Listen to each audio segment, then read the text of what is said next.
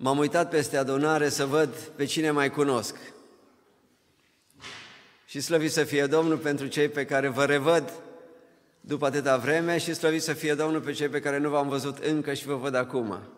Mă bucur de toți și mă rog ca Domnul să ne dea har și în seara aceasta și în zilele acestea și toată viața noastră să fim în voia Lui. Da, fratele Dan spunea că de mult n-am fost. Au fost vremuri pentru copiii Domnului binecuvântate, iar pentru alții n-au fost chiar așa de binecuvântate, au fost vremuri grele. Personal am trecut prin vremuri grele. Mulțumesc Domnului pentru toate încercările Lui, pentru toate greutățile care le-a îngăduit să vină și peste viața mea și peste familia mea într-un fel, că atunci când unul este afectat, toți sunt afectați din familie. Dumnezeu în înțelepciunea Lui știe să le măsoare pe toate după dragostea, bunătatea, îndurarea Lui de Tată. Și îi mulțumim pentru toate. Au fost vremuri grele peste omenire de când nu ne-am văzut noi. Am fost confruntați, fiecare dintre noi, într-un fel sau altul, în luptele pe care le-am avut de dus și slăvit să fie Domnul pentru, pentru cei ce au rămas în picioare și să ne ajute să rămânem în picioare până la capăt. Vremuri grele, probabil că ne stau și în față și cu siguranță Biblia vorbește despre așa ceva, să ne dăm toate silințele să fim plăcuți Domnului. Într-o adunare în care am fost recent, a fost o descoperire și un, un frate spunea, am avut o vedenie. Și în vedenia aceasta s-a arătat cum vine peste creștinătate, nu peste omenirea întreagă, deși vine și peste omenirea întreagă. Peste creștinătate am văzut cum vine un buldozer mare, un buldozer din acesta care lucrează la drumuri și trecea peste creștinătate. Și m-am uitat în urma lui, spunea fratele, să văd ce rămâne. Și din nefericire m-am întristat, spunea, pentru că am văzut că abia doi, trei aici, aici și colo se mai ridicau. Abia doi, trei și colo se mai ridicau. Să ne ajute Domnul să rămânem tari în credință, să rămânem de partea Lui, să nu ne fie alergarea în zadar, să nu fim între cei ce vor auzi când se vor duce acolo sus sau când vor trece din viața aceasta, să nu audă cuvinte de mustrare din partea lui Dumnezeu, ci să audă cuvinte de binecuvântare. Fratele Dan ne-a citit din Psalmul 12, preobitul frate ne-a dat în îndemn. Două cuvinte, m-am gândit la două cuvinte, mi-au răsunat în minte când fratele Dan a citit și apoi când fratele ne-a citit din Efeseni 4. Fratele Dan ne-a citit din Psalmul 21, primul verset, și acolo David se ruga, vino, Doamne, vino în ajutorul nostru, că pierd oamenii evlavioși. Pierd. În, în Efeseni 4 cu 31, Dumnezeu zice, orice iuțime, orice mânie și toate celelalte să, să piară. Mi-a rămas, mi-a răsunat cuvântul acesta în minte. Să piară din viața noastră tot ceea ce nu după voia lui Dumnezeu, dar trist este că pierd oamenii evlavioși. Nu pierde iuțimea, nu pierde mânia, nu pierd lucrurile acestea care ar trebui să piară și pierde ceea ce n-ar trebui să piară. Oamenii evlavioși, oamenii după voia lui Dumnezeu, oamenii care îl onorează pe Dumnezeu, care îl cinstesc pe Dumnezeu. Și vremurile din urmă, din nefericire, vor fi caracterizate de așa ceva. Greu vom mai găsi oameni evlavioși care cu adevărat să-L cinstească și care să-L onoreze pe Dumnezeu. Dar nu trebuie să ne gândim neapărat dacă vom găsi, trebuie să ne gândim dacă vom fi noi între aceia. Noi să fim acei oameni evlavioși care îl onorează și care îl cinstesc pe Dumnezeu. Psalmul pe care eu l-am citit, dacă ați fost atenți, Psalmul 29, ne îndeamnă pe noi să-i dăm lui Dumnezeu slavă, să-L glorificăm pe Dumnezeu. Dați Domnului slavă și cinste. Începe cu noi, după aceea vorbește cu toată creați, vorbește despre toată creația lui Dumnezeu. Ați văzut, nu? Glasul Domnului răsună pe ape, pe ape mari, sfărâmă cedri și toate celelalte. Începe cu, cu oamenii, fii oamenilor, dați Domnului slavă și cinste. Vine apoi creația și spune, creația îi dă lui Dumnezeu slavă și cinste. Creația, tot ceea ce a creat Dumnezeu, îl glorifică pe Dumnezeu. Și versetul, pe, ultimul pe care l-am citit, ultimul din versetul 9, este slavă. Spune că totul în locașul lui Dumnezeu strigă slavă. Oameni, începe psalmistul David, dați lui Dumnezeu slavă. Glorificați-L pe Dumnezeu, onorați-L pe Dumnezeu. Creația face lucrarea aceasta și toată creația, în final, îi spune slavă și gloria lui Dumnezeu.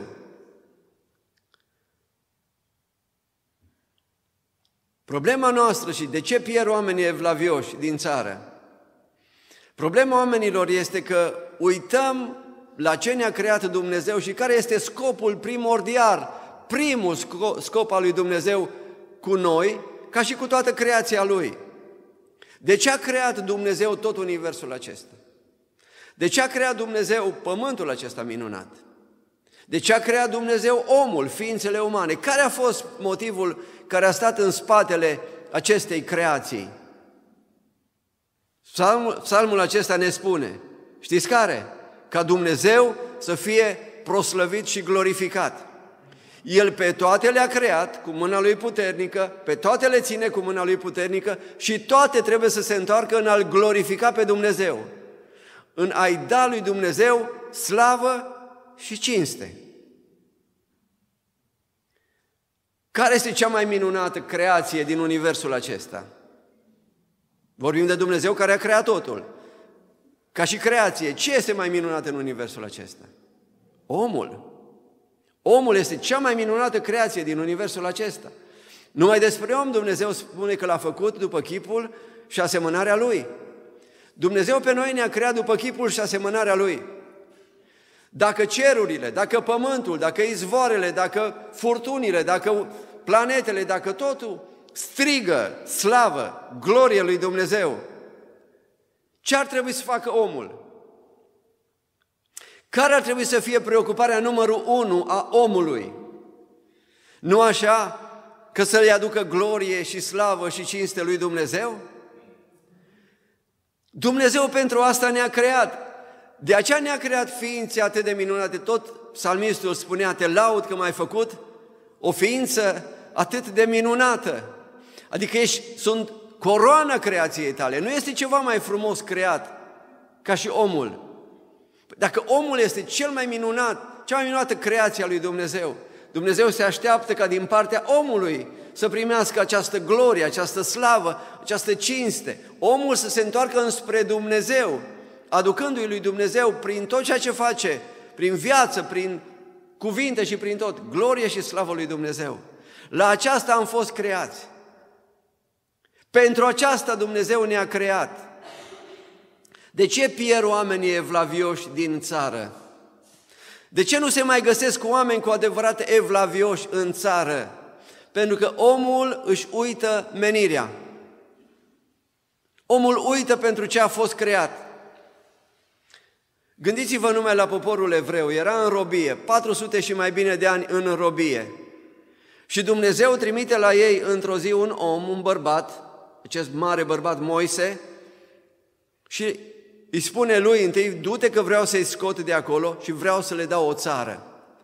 Și Moise îi spune lui Dumnezeu, dar ce să le spun lor? Cine m-a trimis? Nu mă vor asculta. Cum să mă duc înaintea lor? Despre ce să le vorbesc? Și Dumnezeu îi spune, eu sunt cel ce sunt, du-te și spune-le că eu sunt cel ce sunt, Dumnezeul care a creat toate lucrurile. Nu mă vor crede, fă minunile și semnele acestea ca să-ți arăt, ca să le arăt cine sunt eu. Se duce Moise înaintea lor și le spune și vorbește, face semnele și ei înțeleg că, la tri- că Moise a fost cu adevărat trimis de Cel ce a creat cerurile și pământul, Cel ce le ține pe toate și care toate îi dau lui slavă și cinste și glorie. Și zic, da, bun, Dumnezeu te-a trimis, te vom asculta. Pe lângă aceasta, Dumnezeu face toate semnele acelea mari și minunate acolo în Egipt, ca să le dovedească încă o dată Știți că acolo în Scripturi citim că Dumnezeu, Dumnezeu a, a stârnit în, în, în faraon o împotrivire. Dumnezeu nu l-a lăsat. De ce Dumnezeu a stârnit această împotrivire în inima lui faraon? Ca să le dovedească mai bine și mai bine și mai bine evreilor cine este El. Ce poate El să facă? Și cunoaștem toată istoria. Deci, Dumnezeu le zice, uite, eu sunt Dumnezeul cel adevărat. Toți ăștia de aici din Egipt sunt niște idoli. Eu vă chem să mă urmați. Eu vă chem să-mi slujiți mie. Eu vă chem și vă promit o țară care va fi a voastră, în care veți avea liniște și pace și eu voi locui împreună cu voi acolo. Vă chem însă să deveniți închinători, să vă închinați mie, să-mi urmați mie. Și pornesc înspre Canaan. Îl au pe Dumnezeu. Ziua în stâlp de, de nor, noaptea în stâlp de foc. Le dă mâncare, face semne, apă din stâncă și toate celelalte. Îl au pe Dumnezeu în mijlocul lor. Îl au pe Dumnezeu în mijlocul lor. Singurul lucru pe care ei trebuiau să-l facă era să-i aducă închinarea lui Dumnezeu. Să-i aducă glorie și slavă lui Dumnezeu și Dumnezeu se ocupa de toate lucrurile. Și ce s-a întâmplat? Mergând înspre o țară scoși din robie, mergând înspre Canaan, ei trebuiau să fie închinători adevărați, să închine înaintea lui Dumnezeu. Atâta era tot. Să asculte de Dumnezeu în sensul acesta. Și Dumnezeu zice, mă ocup de toate. Și ce s-a întâmplat? În momentele în care Dumnezeu îi cerceta, pentru că dacă mergem în Deuteronom, capitolul 8 zice, Dumnezeu i-a încercat prin toate lucrurile acestea ca să le vadă inima. Și când n-au avut apă, Dumnezeu îi încerca. Și când n-au avut mâncare, Dumnezeu îi încerca. Ca să vadă, înțeleg ei la ce am chemat eu? Înțeleg ei că eu am chemat la o relație cu mine înainte de orice? Înțeleg ei că eu vreau să locuiesc în mijlocul lor, să fiu Dumnezeul lor, să fiu în părtășie cu ei? Ia să încerc puțin.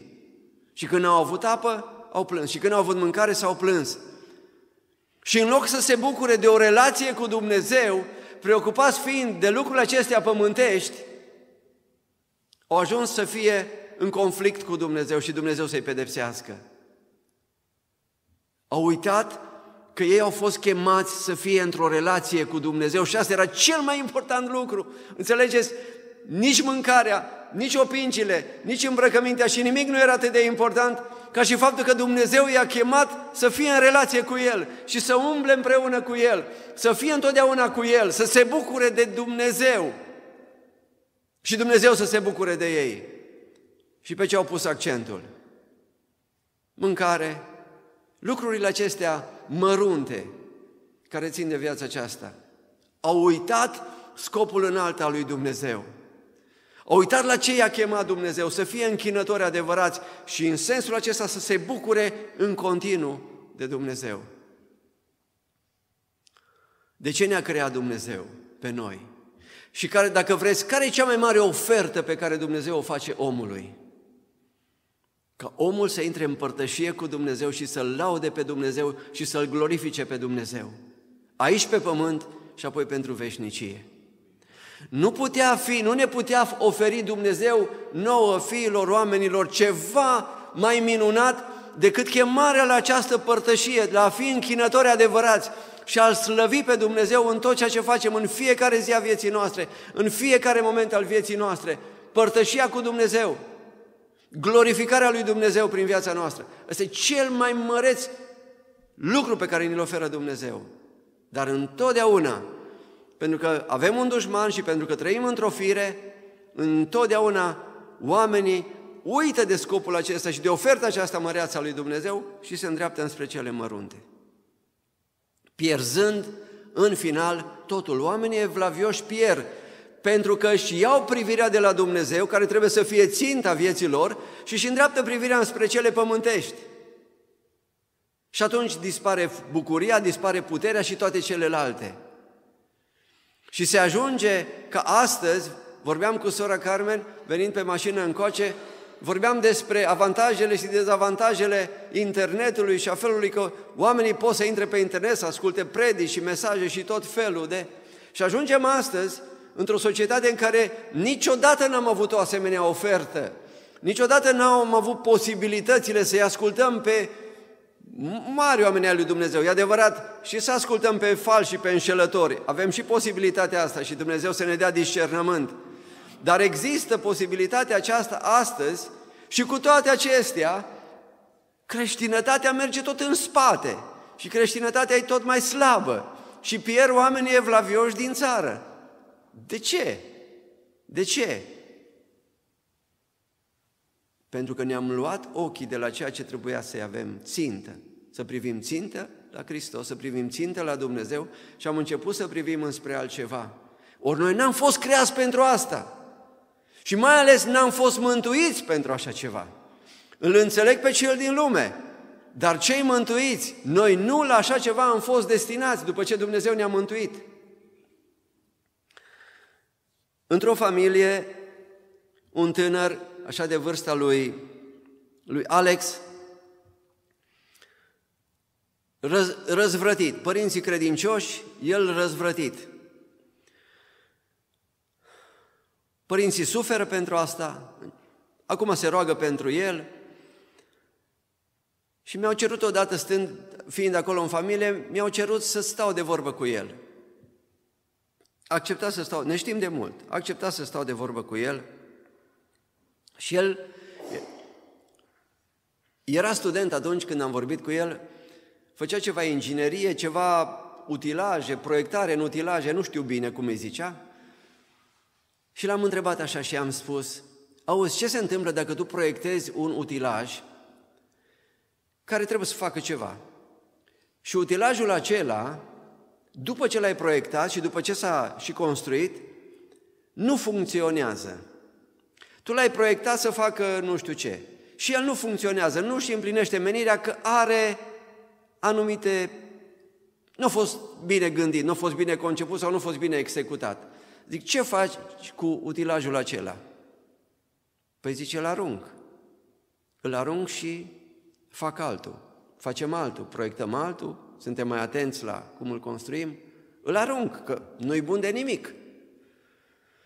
Și atunci am spus, Dumnezeu te-a chemat ca să fii un copil al Lui. Ești destinat, tu ca om, Dumnezeu vrea ca tu să fii copilul Lui și vrea să-i slujești Lui să-i fii de folos lui Dumnezeu. Zic, ce se întâmplă cu tine dacă nu-ți împlinești menirea? Ce se întâmplă cu tine? Dumnezeu te-a proiectat ca tu să-i slujești Lui, ca să asculți de El, să faci voia Lui. Dacă nu îți împlinești menirea, pentru ce te-a proiectat Dumnezeu? Ce se întâmplă cu tine?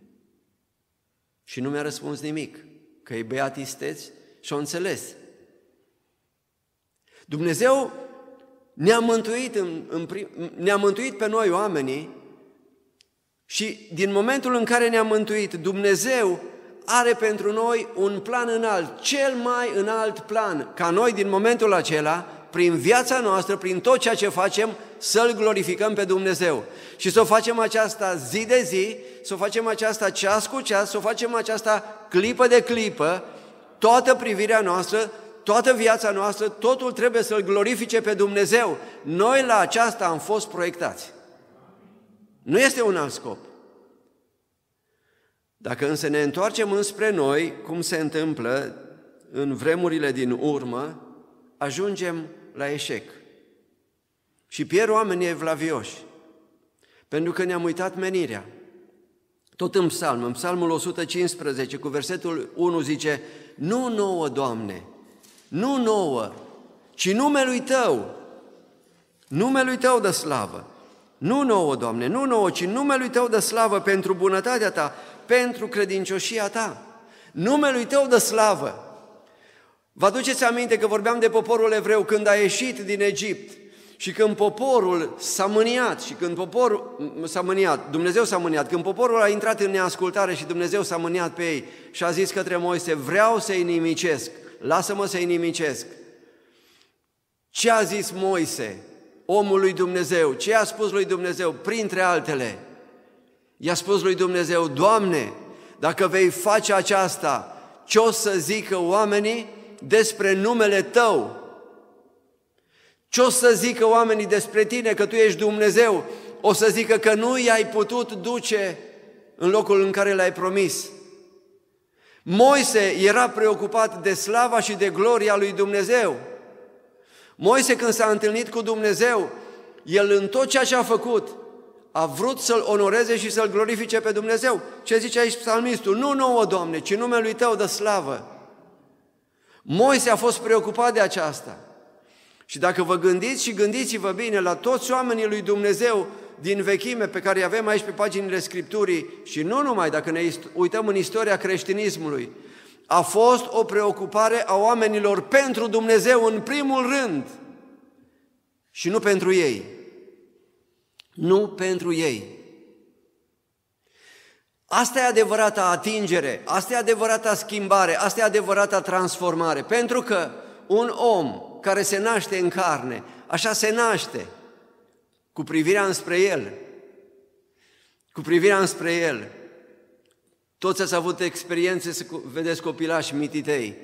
Abia încep să vorbească, abia încep să umble și zic că ăsta e al meu. E al meu. Sunt doi frățiori, un frate și o soră sau două surori sau doi frățiori, sunt acolo au doi, trei ani și fiecare zice, ăsta e al meu, ăsta e al meu, ăsta e al meu. Noi așa ne naștem cu fața înspre noi. Și așa creștem din nefericire. Așa cresc oamenii înspre ei. Toată sursa nenorocirii e păcatul, dar păcatul acesta al egoismului, al faptului că suntem centrați pe noi. Vrem totul pentru noi. Când Dumnezeu intervine în viața unui om și când Dumnezeu îl mântuiește pe un om, asta e schimbarea. Asta e schimbarea adevărată. Nu că un om nu mai bea, nu că un om nu mai fumează. Ce să astea? Astea sunt prostii, sunt fleacuri. Adevărata schimbare este că omul se întoarce de la el, se întoarce înspre Dumnezeu. Cunoaște, înțelege ce a făcut Dumnezeu pentru el. Înțelege cine e Dumnezeu. Domnul Iisus se ruga în Matei 17 și zicea, și viața veșnică este aceasta, să te cunoască pe tine. Păi poți să-L cunoști pe Dumnezeu noi zicem că, poți, că îl cunoaștem, oamenii zic că îl cunosc. Poți să-L cunoști pe Dumnezeu cu adevărat? Poți să-L cunoști pe Dumnezeu cu adevărat și să nu-L glorifici pe Dumnezeu? Să nu-L onorezi pe Dumnezeu? Petru când a văzut cine e Domnul Isus Hristos, deși a mai vorbit el cu el, dar când a văzut minunea cu pescuirea minunată, a căzut la picioarele lui și a zis, pleacă de la mine, pleacă de la mine. Nu-s vrednic să stau lângă tine. Tu ești Dumnezeu. Nu-s vrednic să stau aici.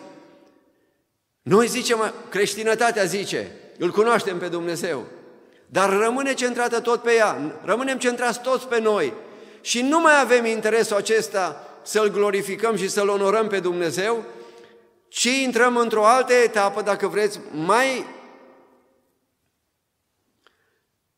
mai înșelați fiind mulți, în care cred că în momentul în care vin la credință, din momentul acela Dumnezeu, Sfântul, acum începe să le facă bine oamenilor. Și preocuparea creștinilor este, creștinilor, acelor ce cred că sunt creștini și vin, cred că vin la credință, este ca să vină la Dumnezeu pentru ca Dumnezeu să le facă bine în continuare.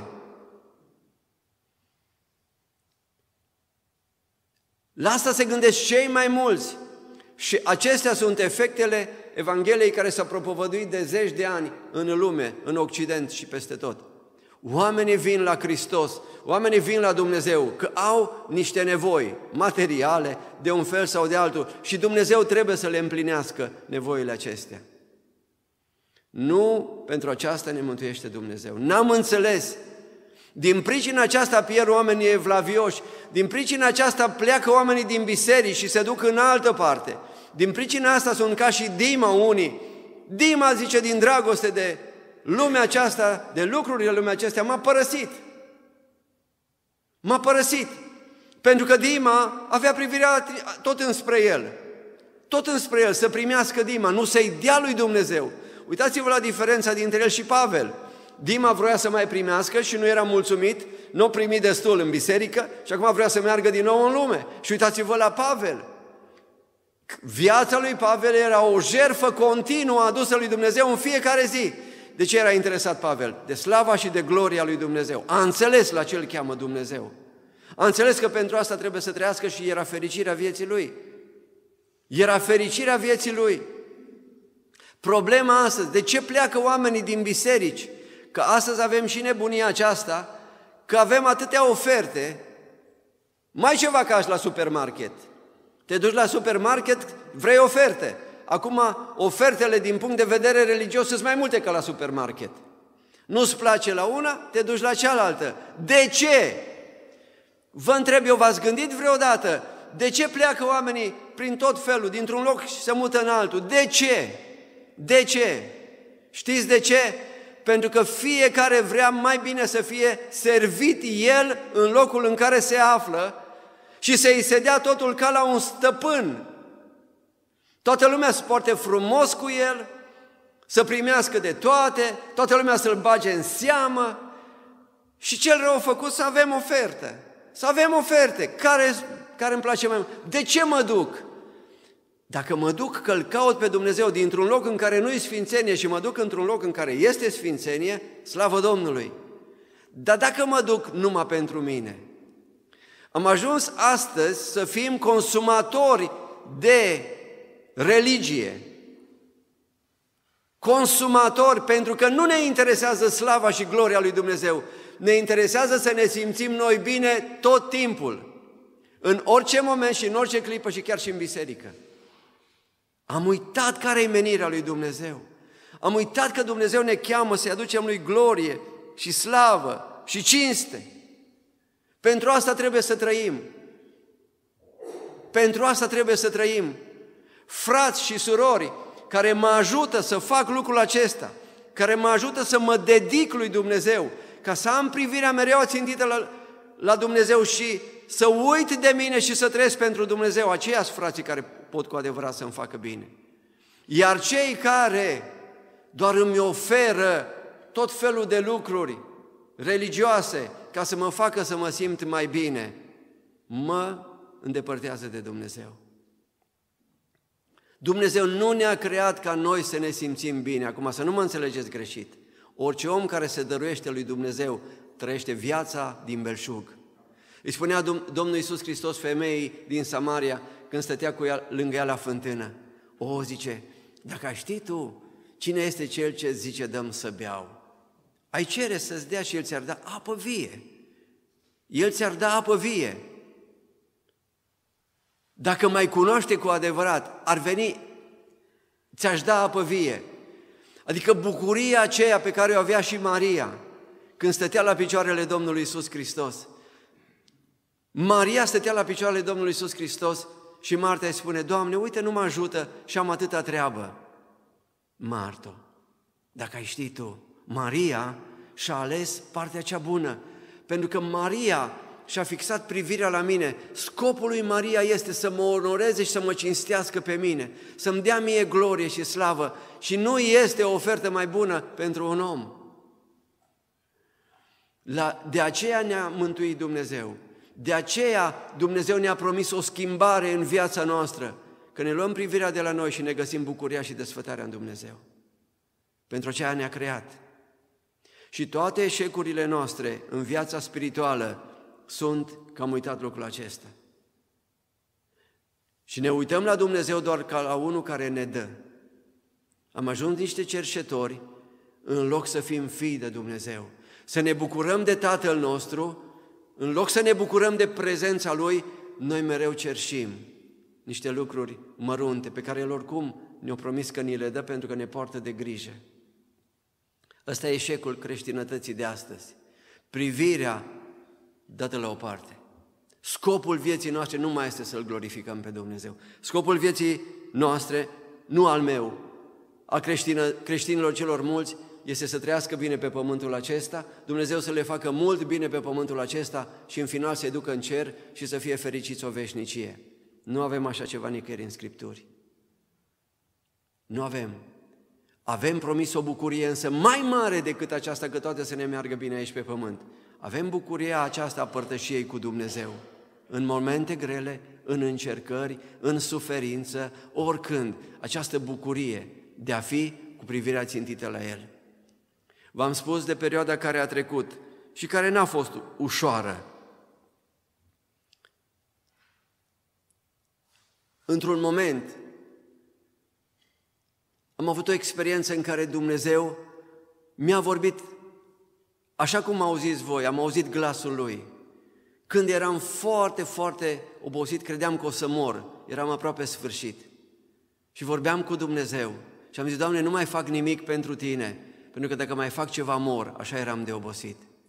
Și Dumnezeu mi-a vorbit și aici în urechea stângă am auzit glasul lui așa cum auziți voi și mi-a zis, cine și iubește viața o va pierde. Doamne, s obosit. Doamne, nu mai pot. Și Dumnezeu a zis, cine își iubește viața o va pierde. Dar nu scrie asta în Scriptură? Dar n-ar fi trebuit să știu? Dar nu așa suntem toți. Doamne, nu mai pot. Doamne, mi este greu. Doamne, am probleme. Doamne, am nevoie de asta. Doamne, am nevoie de asta. Și Dumnezeu zice, nu în asta constă fericirea vieții. Nu în asta constă fericirea vieții, ci în a fi un închinător adevărat. Tu pe mine trebuie să mă dorești mai mult decât celelalte. Părtășia cu mine trebuie să o cauți mai mult decât celelalte. S-a strecurat în învățătura aceasta ideea că totul trebuie să se facă pentru om. Totul trebuie să se facă pentru om, care este o învățătură greșită. Vreau să vă întreb, știu că citiți Scripturile și să ne ajute Domnul să le citim tot mai mult. Care e cel mai cunoscut verset din Scriptură? Ioan 3 cu 16, așa -i? Ăsta e cel mai cunoscut. Toți știm Ioan 3 cu 16. Spuneți-mi încă un verset sau două pe care le știți din Scriptură, pe care le-ați învățat și care v-au atins inima, v-au îmbărbătat în momente grele. De exemplu, eu într-o încercare, asta a fost mai de mult, Dumnezeu mi-a vorbit prin Psalmul 91. Uh, da, prin Psalmul 91. L-am tot repetat, l-am tot repetat, l-am învățat pe de rost, că era o luptă spirituală pe care o aveam de dus. Și prin Psalmul 91 Dumnezeu a adus biruință. Spuneți-mi alte versete care le aveți pe inimă, un verset care, într-o încercare, v-a ajutat să mergeți mai, v-a încurajat în mod deosebit. Sau, eu știu, un verset asupra căruia v-ați fixat privirile și verset al, e un verset al vostru, e bucuria voastră. Vă încurajează, spuneți-mi, dacă vreți să-mi spuneți un verset. Pot totul în Hristos care mă întărește.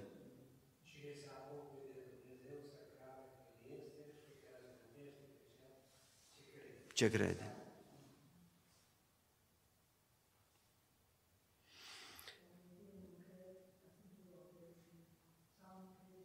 Da.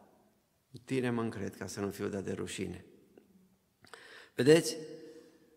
Ne luăm, citim Biblia și ne luăm versete de felul acesta și bine facem, care ne încurajează.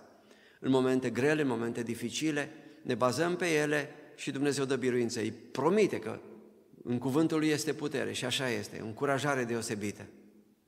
Dar, la un moment dat în viața mea, Dumnezeu mi-a scos înainte câteva versete la care niciodată nu m-am gândit că ar trebui să le iau, dacă vreți, după Ioan 3 cu 16. Ioan 3 cu 16, îl, îl, ce bucurie este să luăm Ioan 3 cu 16, da? Să știm că suntem iertați, că cine crede în Domnul Isus Hristos este mântuit. Ce bucurie, ce împlinire, vine liniștea, vine pacea în inima noastră și în sufletele noastre. Știți care e însă problema? Problema este că rămânem tot la Ioan 3 cu 16. Dacă vreți, Dumnezeu, o spun cu reverență, și El știe ce e în inima mea, dacă vreți, acesta este doar începutul.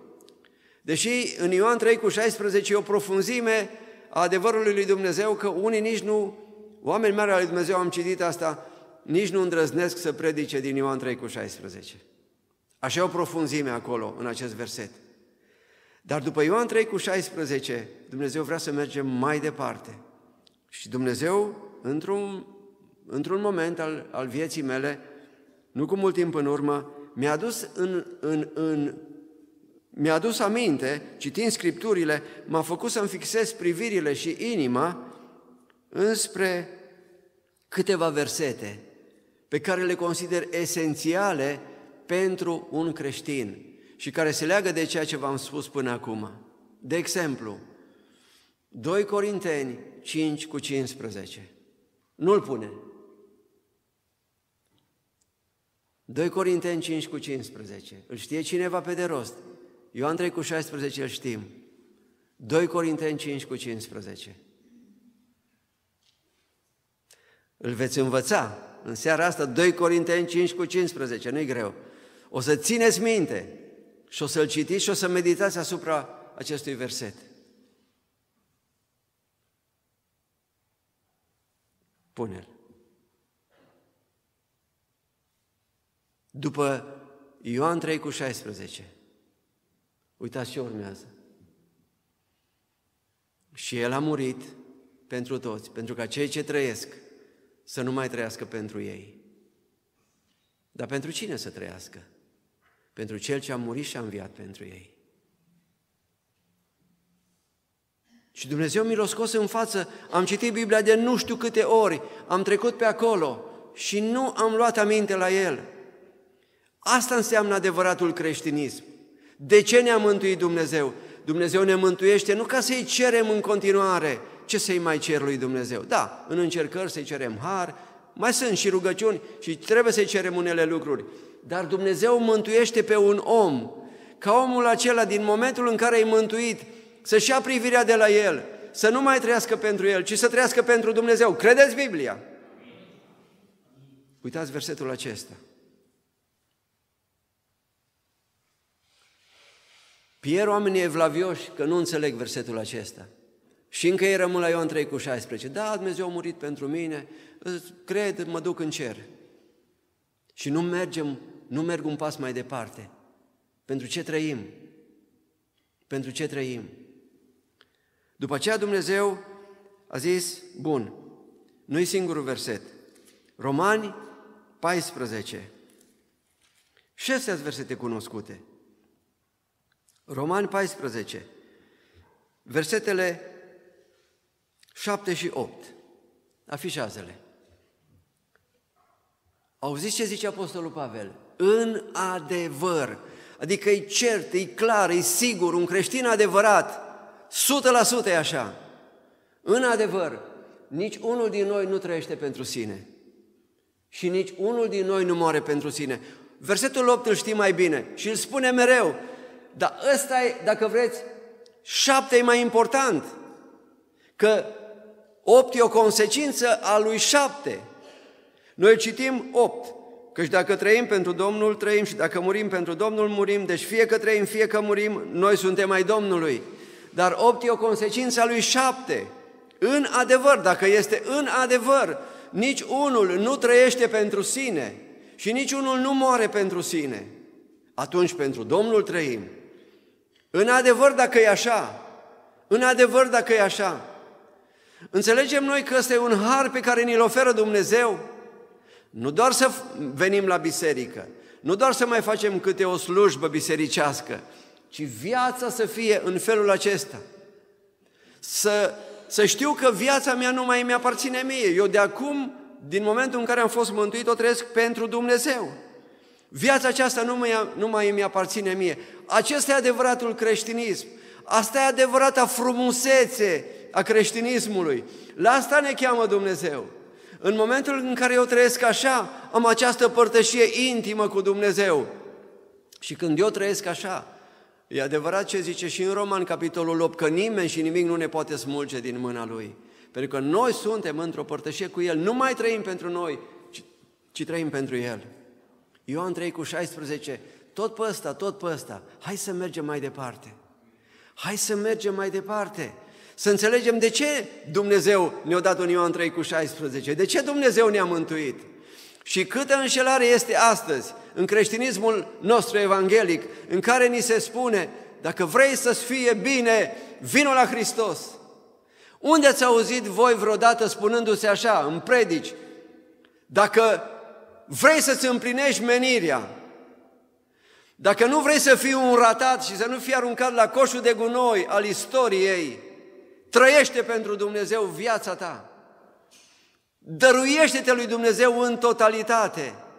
Dacă vrei să fii împlinit, nu mai contezi tu, ci Dumnezeu contează.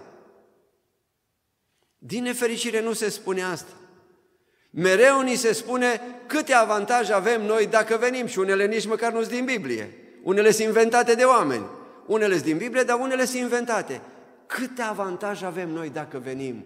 Știți și asta, o viață centrată pe noi. Noi și noi și noi și noi. Și numai noi. Și când nu ni se mai dă, ne supărăm. Și plecăm. Că nu suntem noi împliniți. N-am înțeles versetele acestea. Vă mai citesc. 2 Corinteni, capitolul 4,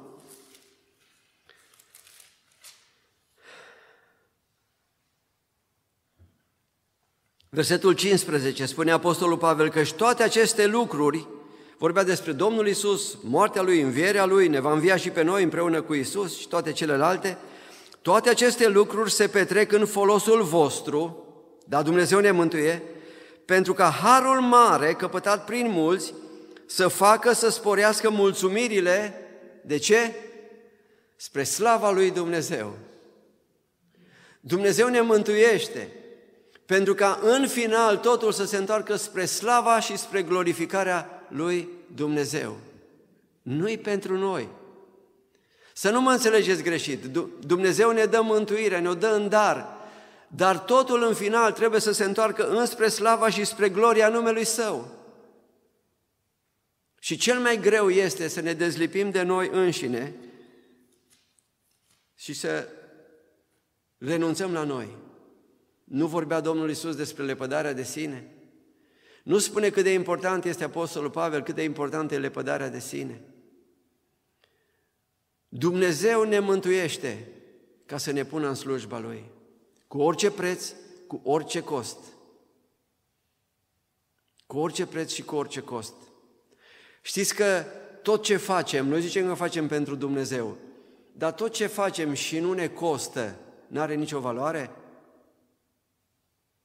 Zicea David la un moment dat, când trebuia să cumpere o arie ca să, ducă, să zidească un altar acolo Domnului, că s-a mânia Dumnezeu și vrea să-i nimicească. Și a zis, dăm, dăm terenul acesta. Și a zis, ia-l gratis. Nu, nu, nu. Nu voi aduce Domnului o jertfă care nu mă costă.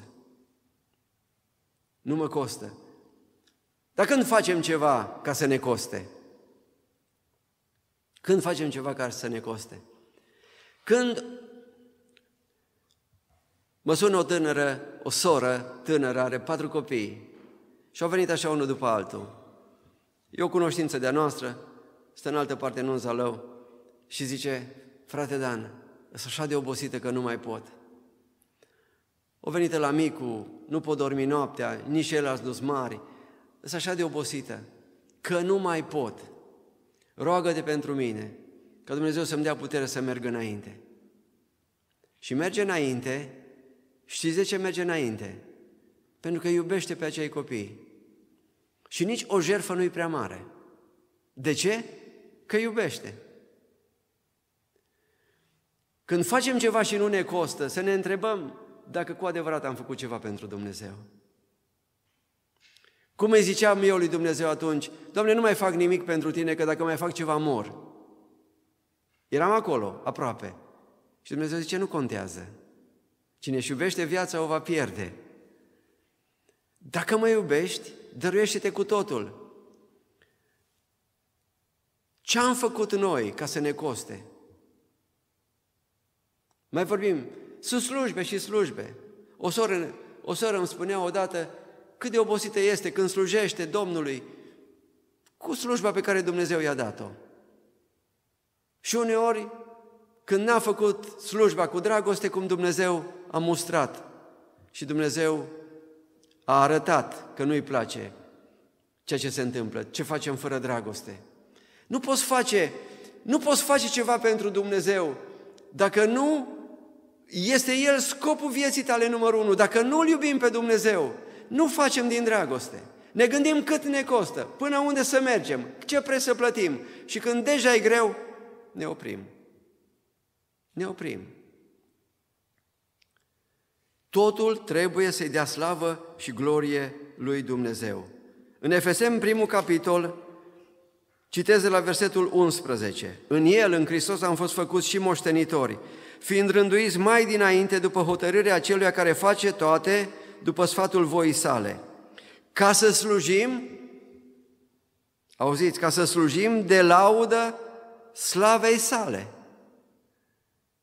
Dumnezeu ne-a mântuit ca să slujim de laudă slavei sale. Nu ne-a mântuit în primul rând să ne fie nouă mai bine. Asta e umanism. Așa se spune astăzi.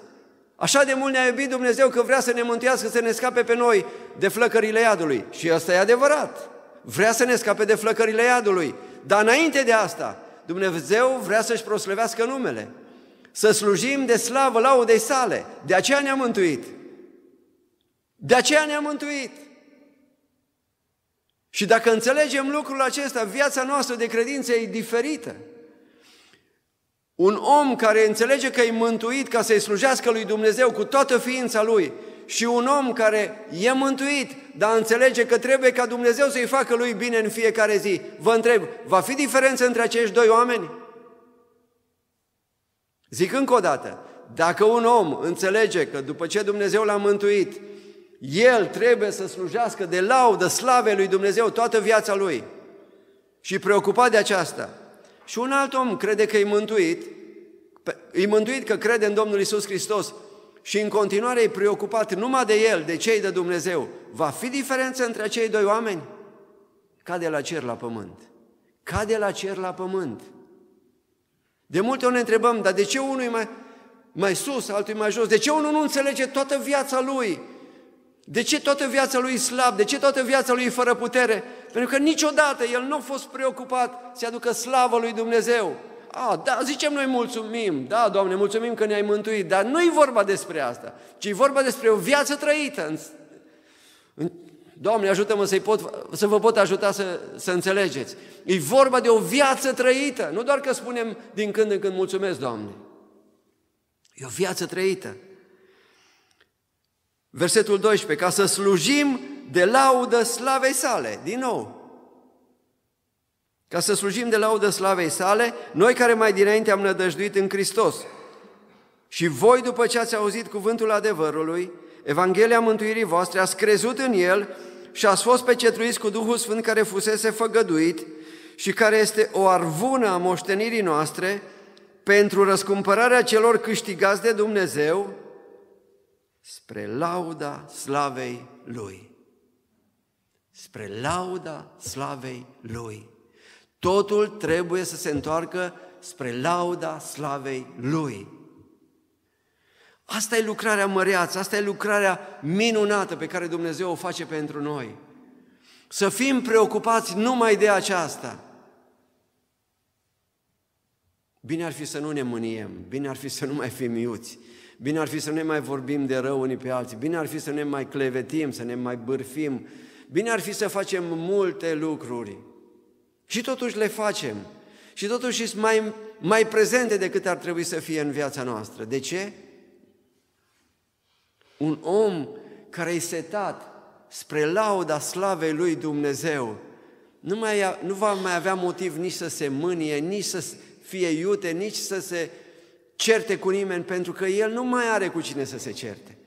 El glorifică pe Dumnezeu și îl onorează pe Dumnezeu cu toată viața lui. Viața lui este o închinare continuă adusă lui Dumnezeu.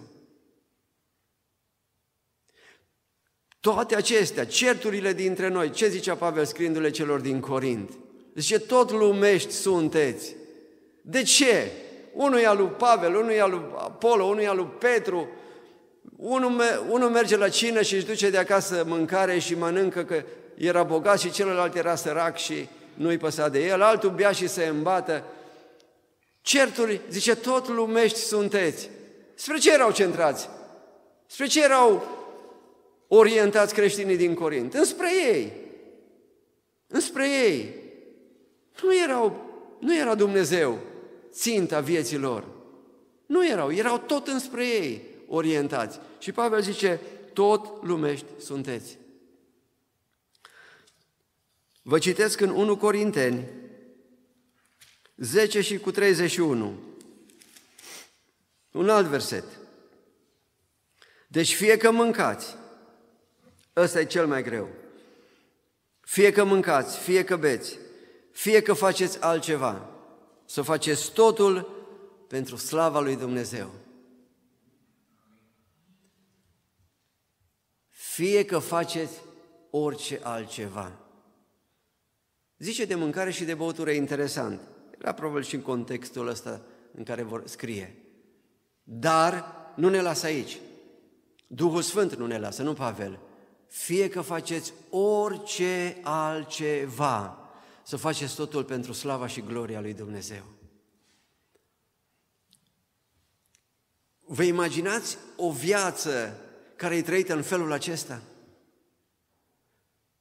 Câte lucruri n-ar mai fi între noi, lucruri rele, dacă am face totul așa?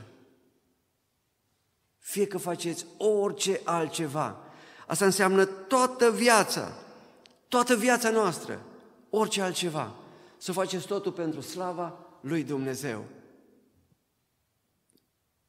Ați cugetat până acum adânc la versetele astea? Eu o vreme nu v-am spus. O vreme nu. O vreme m-am gândit și eu, așa cum alții mi-au tot spus, că dacă vin la pocăință, să-i cer Domnului. Cere, domnule, cere, domnule, cere, cere. Ai credință, frate, ai credință că Domnul îți dă, ai credință că Domnul îți dă. Ai credință că Domnul îți dă. Nu zic să nu cere, să nu mă înțelegeți greșit. Zice Biblia, să, tot Pavel zice să mergem înaintea lui cu rugăciuni și cu cereri și cu mulțumiri. Dar noi rămânem tot acolo. Știți că în evrei vorbește despre o copilărie și despre un mers înainte? În Evrei 5, finalul uh, uh, capitolului 5 și Evrei 6, începutul, vorbește despre lucrurile desăvârșite. Ați rămas la lucrurile începătoare și n-ați mers înspre cele desăvârșite, o copilărie spirituală. E o copilărie spirituală, mereu să-i tot cerem lui Dumnezeu să ne dea, să ne dea din lucrurile acestea pământești. Trebuie să facem totul pentru Dumnezeu, pentru slava gloriei Lui. Nu va fi nici unul lăsat deoparte. Nu va fi niciunul peste care să treacă buldozerul vremurilor din urmă și să nu se ridice după aceea dacă viața lui a fost trăită în felul acesta, pentru slava și gloria lui Dumnezeu. Dar când va veni buldozerul vremurilor grele, toți cei ce au trăit pentru ei și toți cei ce l-au văzut pe Dumnezeu doar pe unul care tot dă, tot dă și tot ne bagă în sac și mai este încă și mai este încă, nu se vor mai ridica niciodată. Pentru că au trăit pentru ei, în loc să trăiască pentru El. Asta este cea mai înaltă chemare pe care Dumnezeu o face unui om. Vorbeam la început despre poporul evreu care n-a înțeles la ce îi cheamă Dumnezeu. N-a înțeles. Și s-au preocupat de lucrurile acestea în loc să se bucure că în mijlocul lor era șechina, era Dumnezeu, era prezența lui Dumnezeu. Vă dați seama, acolo era Dumnezeu prezent și zic castraveți și praz. Vă dați seama? Dar la astăzi e la fel. Astăzi e la fel. Dumnezeu ne promite, ni se promite pe El însuși. Nu darurile sale, ci pe El. El promite că vine să locuiască cu noi, în noi, în inimile noastre, în mijlocul nostru. Și noi umblăm tot după praz și după ceapă, după lucruri mărunte. Trebuie să ne preocupe înainte de orice slava și gloria lui Dumnezeu. Noi care suntem făptura cea mai minunată. Și Dumnezeu ne-a creat ca să-i dăm Lui slavă. Noi zicem că o să-i dăm slavă odată în cer. Să ne ajute Domnul să ajungem acolo și să-i dăm slavă în cer. Dar dacă nu ne-am obișnuit aici pe pământ, dacă aici pe pământ cu adevărat nu trăim pentru El, versetele astea toate pe care vi le-am spus, dovedesc că Dumnezeu asta vrea. Asta așteaptă de la noi, cei pe care ne-am mântuit ca să fim tari, ca să fim oameni puternici. Dacă înainte de, cum ziceam, de convertire ne slăveam tot pe noi, știți cum sunt oamenii, se laudă, cine se iei, ce grozav se iei, le place să-i laude unii, să-i laude alții. Așa eram înainte de convertire. Păi și acum tot așa să fim. De câte ori aud între frați, între surori, nu mă prețuiesc, nu mă laudă, nu mă... Dar de ce ai nevoie de laudă oamenilor? Dar de ce ai nevoie ca oamenii să te bibilească? De ce ai nevoie de asta când Dumnezeu, Dumnezeu însuși, spune că vrea să fie împărtășie cu tine și El te apreciază și te prețuiește? Pentru că încă suntem centrați tot pe noi și nu e normal să fie așa.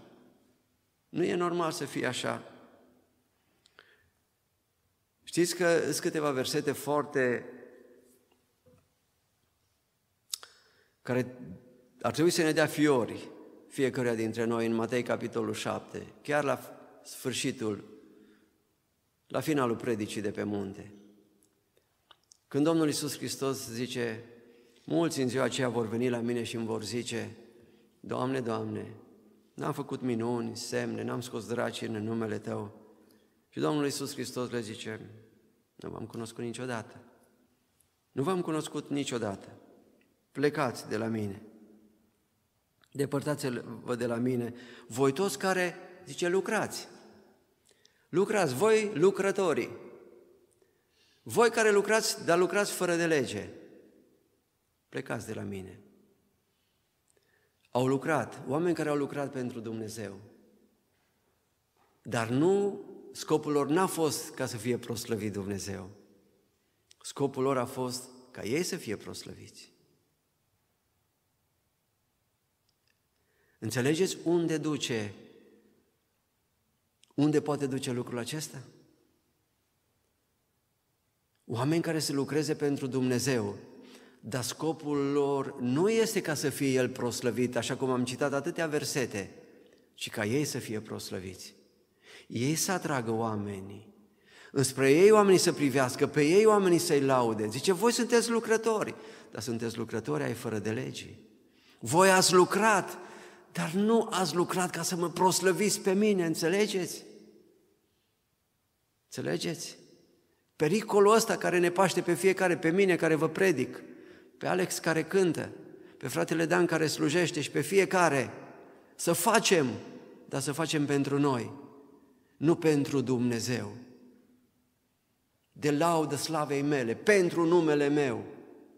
Tot ce faceți să faceți pentru lucrătorii ai fără de legii au lucrat, dar nu el. Nu el a fost scopul lucrărilor lor. Nu asta și-au dorit ca el să fie cu adevărat înălțat. Și în pericolul acesta suntem cu toții. Eu sunt în pericolul acesta. Să știți că m-am surprins de multe ori.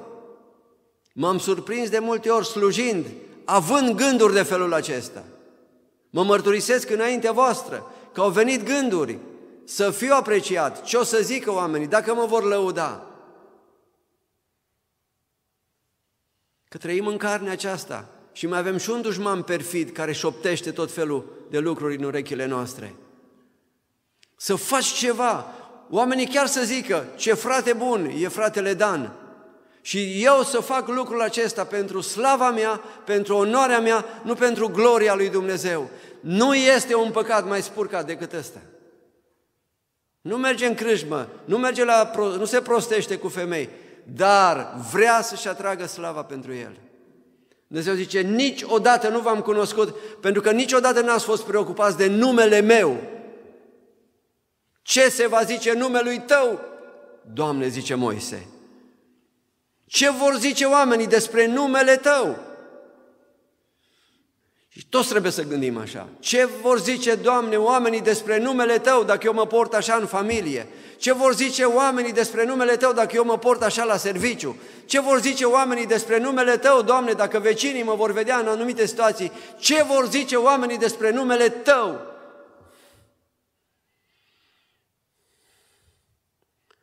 Soră, n-ai făcut bine. Frate, n-ai făcut... Ce frate, ești tu mai bun decât mine?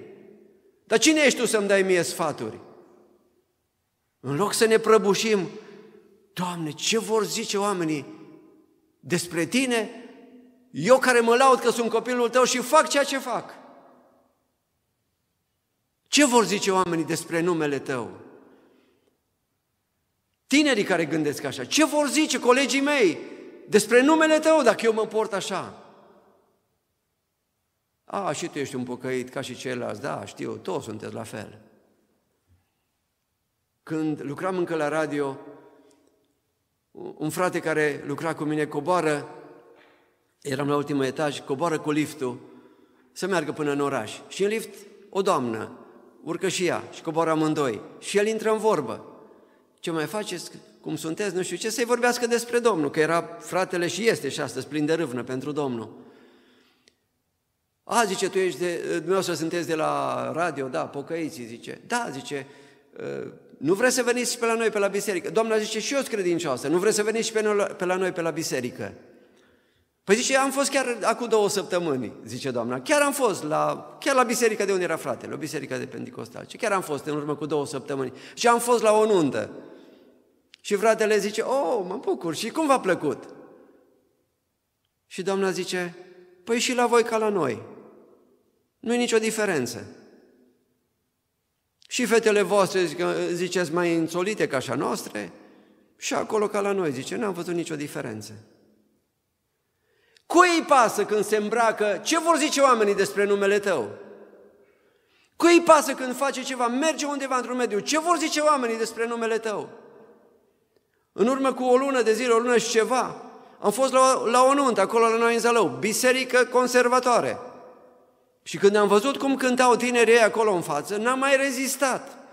Erau și un neamț, venise un neamț cu nevastă sa de aici, erau la nuntă, nu erau pocăiți. Și la un moment dat ăștia așa cântau, încât neamțul s-a dus în față cu o fetiță de-a lui și a început acolo unde era ringul de dans să se învârte.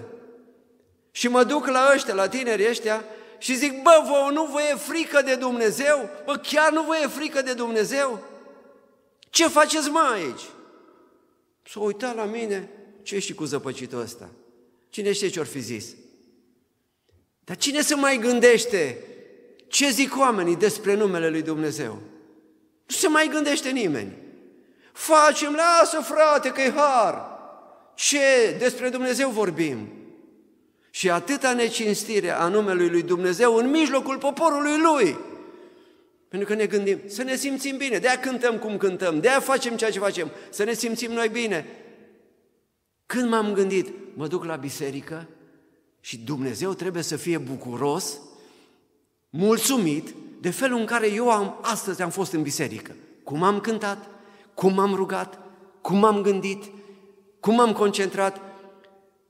Mă duc la biserică ca Dumnezeu să se bucure de mine. Nu mă duc la biserică ca eu să am nu știu ce bucurii. Mă duc la biserică și vreau să-L onorez pe Dumnezeu în biserică prin tot ceea ce fac.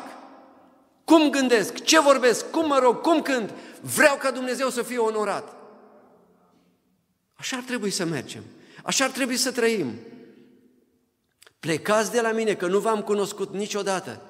Tot ce ați făcut ați fost să vă înălțați voi, să vă slăviți voi, să vă faceți voi mendrele.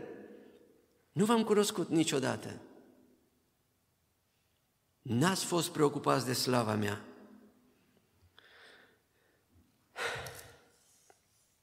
Închei cu cu o istorisire pe care, care iar m-a pus pe gânduri în ultimul timp. Am mai spus-o și în alte părți. Luați aminte la ea că e un cuvânt venit din partea lui Dumnezeu și o avertizare grozavă pentru noi în vremurile acestea. Dacă ați citit cartea aceasta deosebită, Călătoria Pelerinului, scrisă de un om al lui Dumnezeu, John Bunyan, în închisoare prin 1650, 12 ani închis în închisoare pentru credința lui în Hristos. Și acolo a scris cartea aceasta, Călătoria Pelerinului, care e o alegorie. Viața, crești... Viața omului care poartă o povară mare în spate, o legătură mare legată cu funii, păcatele noastre, ajunge la o cruce într-o zi, umblând cu, păca... cu sacul ăsta în spate, omul care umblă prin lume cu păcatele lui, ajunge la o cruce, acolo cade la picioarele crucii, era întâlnirea cu Hristos, se rup funiile, cade povara din spate și este liberat. Omul e mântuit. Și de acolo descrie viața lui de credință până când ajunge în împărăția cerurilor. Pericolele, capcanele care sunt, că sunt multe, sunt multe. Noi credem că e ușor, da. Sunt multe capcane. Și ultimul obstacol pe care îl are ca să intre în Cetatea Sfântă este apa care înconjoară Cetatea Sfântă. Și apa aia era apă adâncă, nu era ușor de trecut și spunea el că mulți, și ăsta trebuie să fie un semnal de alarmă pentru fiecare dintre noi, mulți ajungeau să meargă până acolo, dar să se înnece în apa aceea și să nu ajungă în Cetatea Sfântă. Adică, cu alte cuvinte, viața de credință e o luptă până în ultimul moment. Până intri în Cetatea Sfântă e o luptă. Și ați auzit de oameni care au avut lupte puternice, atunci murind. Murind, pentru că diavolul vine cu tot felul de, tot felul de provocări. Și spune, am ajuns la apă, așa, fiecare personaj din alegoria asta poartă un nume care îl caracterizează. Umblând el pe drum, mergând înspre, înspre cetatea sfântă, a întâlnit un alt credincios, care era om de nădejde. Omul ăsta sărea în ajutorul tuturor, un creștin care sărea să ajute pe alții. Și s-au întovărășit ei și acum mergeau amândoi și au ajuns amândoi la râu și au început să treacă. Au mers o vreme, au umblat până când apa a fost mai adâncă și după aia au început să note. Și spunea el, era un curent puternic și am simțit că mă scufund și că nu mai pot. Și atunci, om de nădejde, tovarășul lui de credință, cum bine ar fi să fim fiecare unii pentru ceilalți. Dar știți care e problema astăzi? Asta nu neapărat că nu sunt oameni care ar vrea să ne ajute. Astăzi e o problemă că nu mai vrem să fim ajutați. Vrea cineva să ne ajute, să ne treacă și nu mai vrem. Ne încăpățânăm și nu vrem. Și când a simțit că nu mai poate, om de nădejde l-a ajutat și împreună amândoi au notat și au trecut dincolo, au ajuns la poarta cetății sfinte, au bătut la poartă, i s-a deschis poarta, au intrat acolo și totul s-a terminat. Viața în împărăția lui Dumnezeu. Și spune el, mi s-a dat să văd în vedenie că în urma mea mai venea încă un creștin, încrezător, cum sunt foarte mulți astăzi. Frate, totul e în regulă. Bă, da, viața ta, totul e în regulă. Iisus ne iubește, frate. Domnul Dumnezeu ne iubește. Trai pe vă trai. Bă, da, cercetează. Nu, nu, nu, nu, frate. Mântuirea e numai prin har. Eu nu trebuie să mai fac nimic. Și vine un astfel de creștin încrezător pe el, din urmă. Numele lui însă era ignorantul. Ignorantul. Adică un om care nu lua aminte la niciun sfat. Îi spuneai ceva, lasă că știu. Îl mustrai, bă, cine ești tu să-mi spui? Încercai să-l ajuți și nu vroia. Ignorantul. Nu lua aminte la nimeni. Și vine și el. Ajunge și el la râu. Se bagă curajos în râu. Trece râul și ajunge la poarta cetății. Și bate la poartă. Și înăuntru cineva îl întreabă, cine ești? Și spune cine e. Și vine o altă întrebare. Ai certificat? Și ăsta zice, ce certificat? N-am niciun certificat. Ce certificat să am? Atunci, dacă nu ai certificat, îi răspunde vocea, drumul tău, zice, este pe cărarea aia. Pe lângă cetate era o cărare.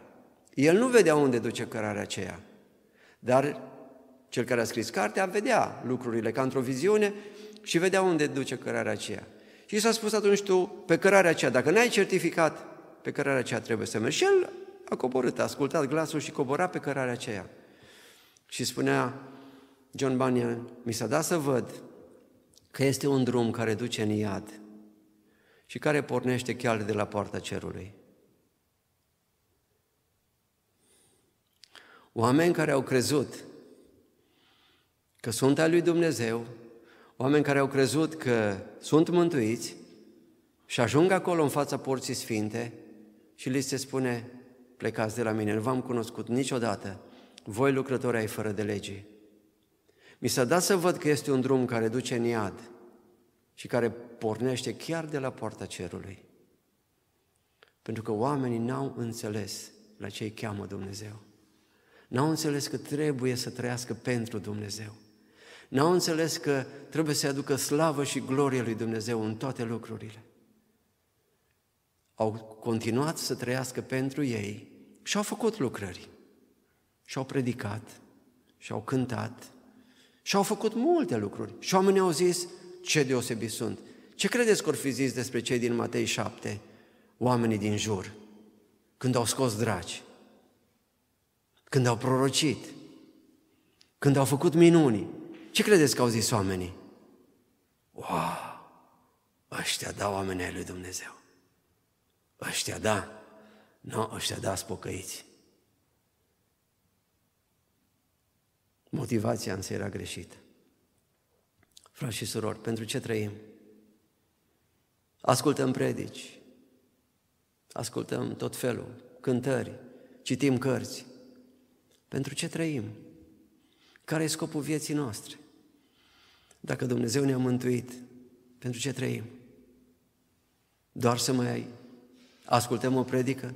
Doar să mai primim 500 de euro la salar în plus? Doar să mai avem o casă mai frumoasă? Doar să mai avem, să ne mai dea Dumnezeu, să ne mai dea? Pentru ce trăim? Eu zic că dacă vom înțelege lucrul acesta, atunci nimeni și nimic nu ne va putea smulge din mâna Lui în vremurile grele în care trăim.